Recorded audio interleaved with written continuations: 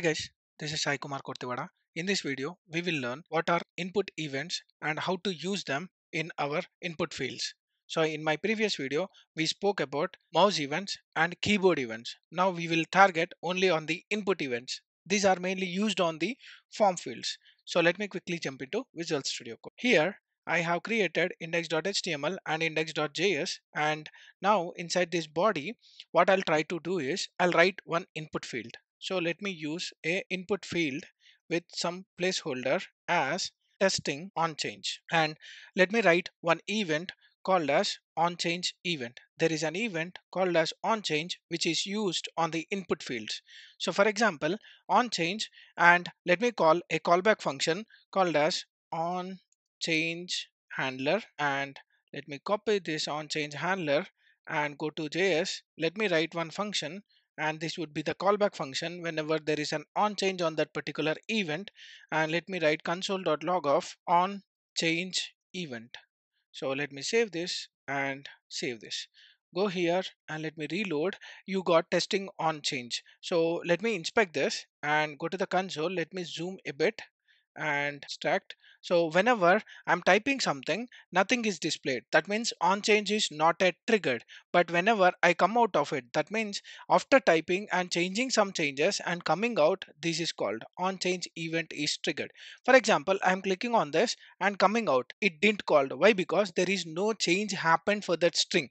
For example, let me remove this S. So there is a change happened in that event and in that input field and whenever I click outside the change event again triggered. That means whenever there is a change happen on your input field and when you come out of it or when the field is becoming blur then this event is triggered. So let me remove or type something and let me hit outside. So again the on change event has been triggered. So on change event will be triggered whenever there is a change happened in your input field and when you come out of it then this particular on change event will be triggered. And what is this event and what are the details about event? We can check that event by using event which is a keyword which is passed to this particular on change handler. And let me receive this event and let me console it. Save this and save this. Go here. Let me reload. If you see Sai Kumar and hit outside you got an event. And if you see the type there is a change. That is on change is the event name. And if you hit here and you will be getting the target just go here and write event dot target dot value target dot value that will give you the value which is entered on your input change. Let me reload. If you type something like Sai Kumar and hit outside you got on change event has been triggered and Sai Kumar you got that Sai Kumar value. So now in the same way we have something called as on input event. Let me create one more input field and save this. Let me close this. Testing on input. So let me use on input event and let me change this to on input handler. So copy this go here let me use function on input handler and inside this let me use a event and let me write one console console.log of on input and event. Or you can use event dot target dot value save this and save this. Go here let me reload. Now whenever I'm typing something on this input change that means whenever there is an input given to that particular field immediately that particular event will be called. For example s event called a i k u m a r. And when you hit outside nothing will happen. And when you change something immediately that event will be triggered. So what is the difference between on change and on input is on input will trigger the event immediately whatever the change happened on that particular input field whereas on change will only trigger the event when there is a change in the particular element value as well as when you click outside of the particular element or input field. So that is where your on change and on input will differ and vary. Let me go here. There is one more event called as focus events and also there is something called as a blur event. So let me write focus event and blur event. And let me write some more handlers something like focus and also blur. So let me save this and copy this on focus handler. And let me create a function. And this on input handler let me replace with focus handler and let me write focus. And same thing copy this function and let me use some blur event and a blur event.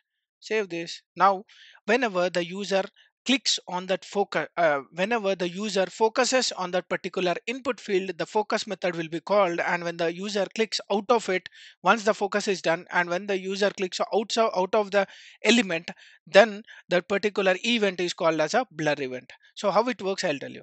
So now this indicates a focus and whenever you come out of it, it becomes a blur. So something like this and like this. So let me change the name here on blur event handler. So save this and this is something like a blur event and on blur event name. This is on focus event name. Save this and reload. If you see here, whenever I click on this focus, then immediately on focus has been triggered and again I'm coming out of it and trying to hit again same same. So it is go on hitting. That means once I click inside that particular input field the on focus event is triggered. And when I click inside it and coming out of it that is called as a blur event. So whenever I clicked here nothing happened. But when I click outside of it then it is calling the blur event. Let me try again. Click here and come out. This is called as on blur event. So these are the different type of events which can be handled over your input fields. And also these changes can also be these input fields can also accept mouse events keyboard events double click click everything. But always need to check that on change and on input on focus on blur these are especially for the input fields.